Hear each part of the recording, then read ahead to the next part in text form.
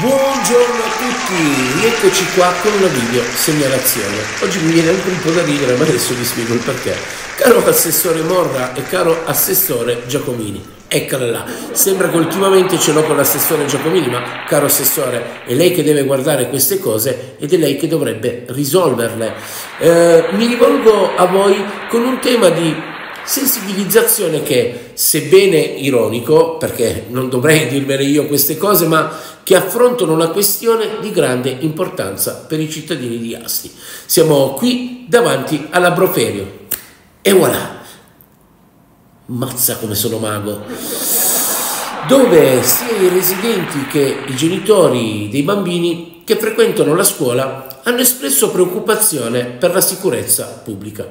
Durante gli orari di entrata e di uscita ci troviamo di fronte ad un problema enorme.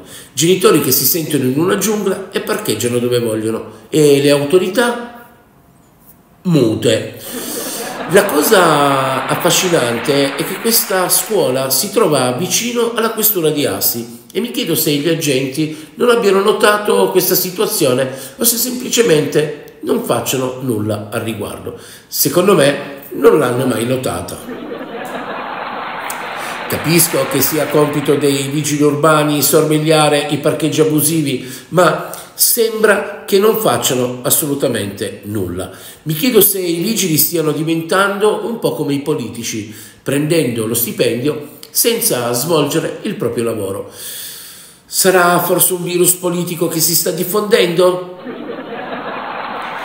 ma la cosa più preoccupante è che una macchina della polizia, eh, che non credo sia l'unica a passare da qui, non solo non si ferma di fronte a queste macchine parcheggiate illegalmente, ma nemmeno avvisa i vigili. Si vede addirittura una macchina che parcheggia in una zona in cui le auto non possono nemmeno entrare, intralciando i pedoni che devono camminare sull'erba. E se un disabile con la carrozzina deve passare da lì?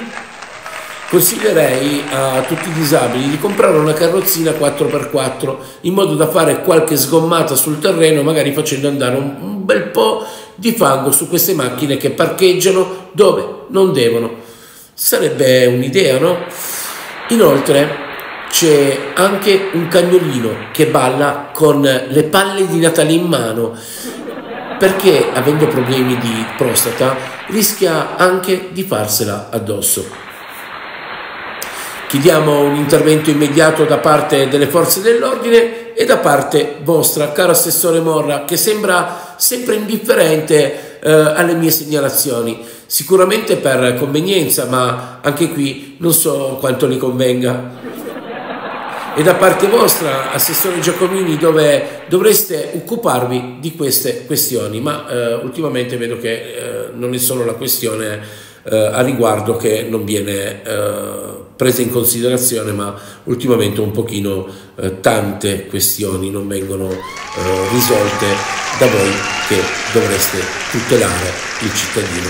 Vogliamo una spiegazione e vogliamo sapere perché, nonostante il problema esista da diversi anni, nessuno ha mai fatto nulla al riguardo. Sto facendo questa segnalazione e vi invito di risolvere il problema al più presto perché se qualcuno si fa male le denunce non tarderanno ad arrivare.